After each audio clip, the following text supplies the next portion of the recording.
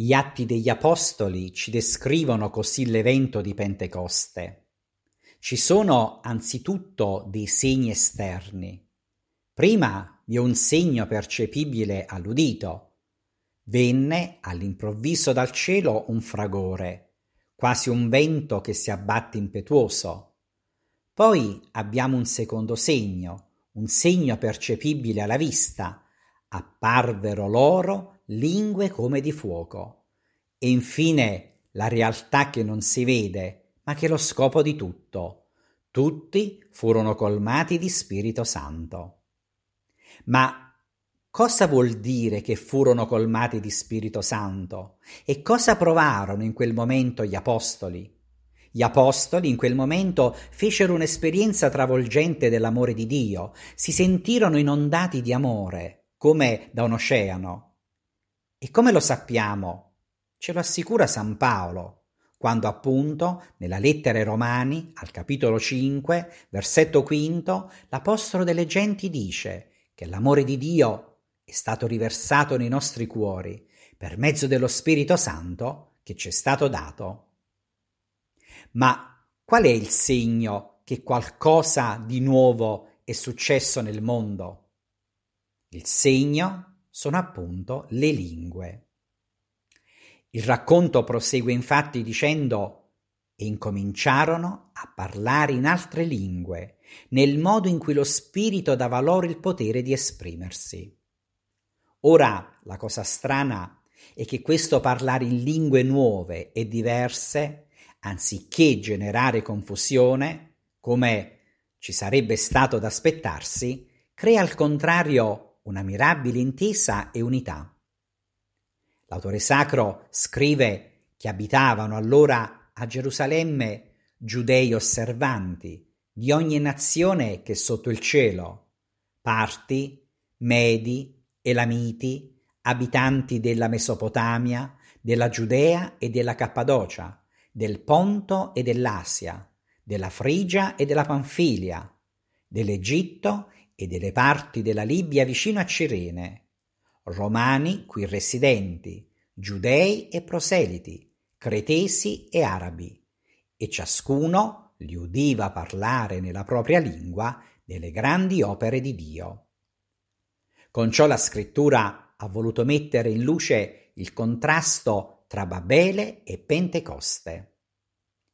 A Babele tutti parlano la stessa lingua, e a un certo punto nessuno più capisce l'altro e dunque nasce la confusione delle lingue. A Pentecoste invece ognuno parla una lingua diversa e tutti si capiscono. Come mai? Per scoprirlo basta osservare di che cosa parlano i costruttori di Babele e di che cosa parlano gli apostoli a Pentecoste. I primi, i costruttori di Babele, dicono tra loro Venite, costruiamoci una città e una torre, la cui cima tocchi il cielo, e facciamoci un nome, per non disperderci su tutta la terra. Questi uomini dunque sono animati da che cosa? Da volontà di potenza. Vogliono farsi un nome, ricercano la loro gloria. A Pentecoste, invece, gli apostoli proclamano che cosa? Le grandi opere di Dio.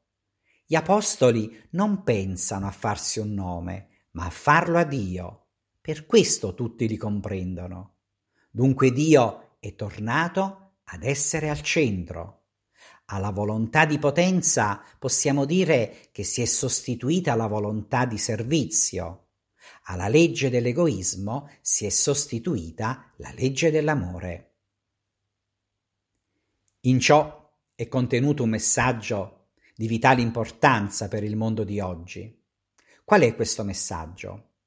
Oggi viviamo in un mondo dove c'è molta comunicazione, la cosiddetta comunicazione globale, cioè si parla senza limiti, si comunica con tutti.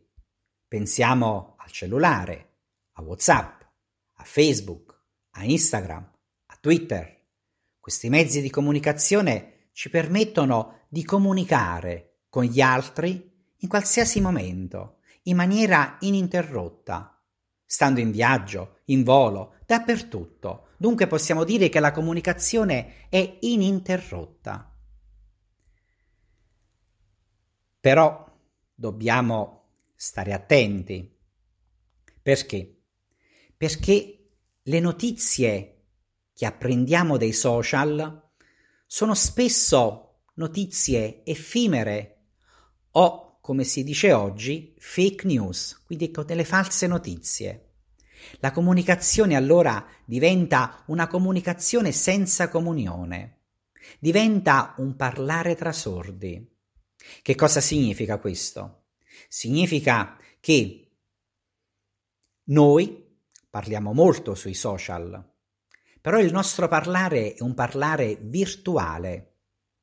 Quindi parliamo, però non abbiamo la persona davanti. Oggi tutti vogliamo parlare e nessuno vuole ascoltare. Tutti vogliamo far vedere il nostro io. Ecco perché vi sono guerre, ecco perché vi sono divisioni, contrasti tra i popoli, società lacerate e confuse. Perché tutto ciò? Perché abbiamo respinto Dio. E ricordiamoci che senza Dio noi non ci capiamo più. Senza Dio è aperta la strada all'odio. Senza Dio non c'è unità, non c'è fraternità. E allora riscopriamo il senso della Pentecoste.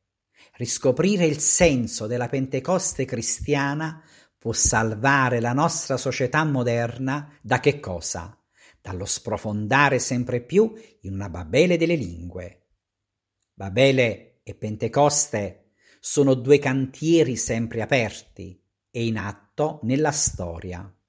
Infatti, secondo Sant'Agostino, nel primo cantiere si costruisce Babilonia, la città di Satana. Nel secondo cantiere, invece, si edifica Gerusalemme, la città di Dio.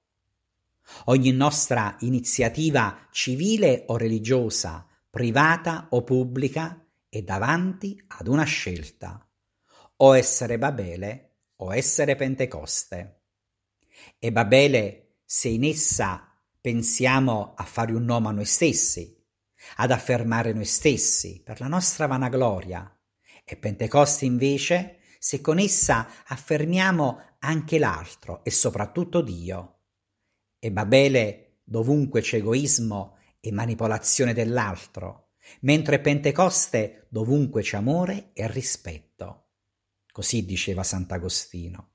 Ebbene, raccolta con Maria come al suo nascere, la Chiesa quest'oggi prega Veni Sancte Spiritus. Vieni, Santo Spirito, riempi i cuori dei tuoi fedeli e accendi in essi il fuoco del tuo amore e aiutaci, o Santo Spirito, ad essere sempre Pentecoste. Amen.